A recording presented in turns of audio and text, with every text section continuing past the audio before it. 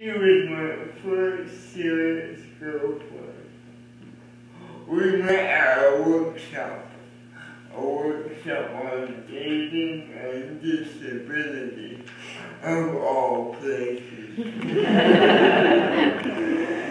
Actually, it was me who was giving the workshop. Things worked out rather well. At the end of the session, people mixing and mingling till airport screamed.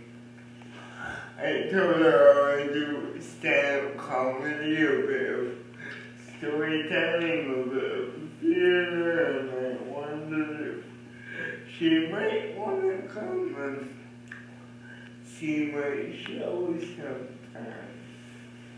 Granny answered, well, if you're asking me out on a date, then it's a yes.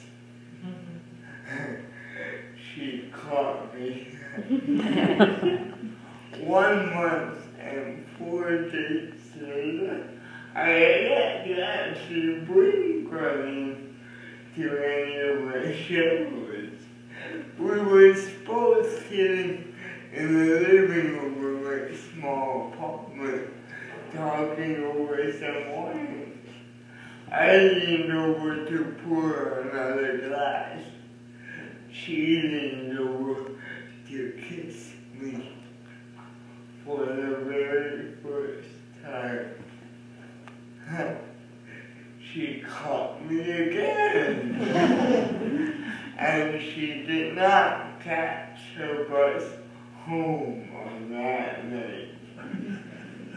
That was the first night I ever spent with someone. And it was perfect.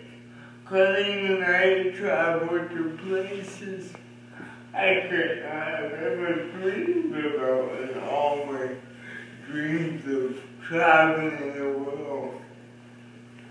After that night, any physical contact with Colleen, even just a light brush of hand down into my arm, completely and totally relaxed my spastic body to the point of stillness.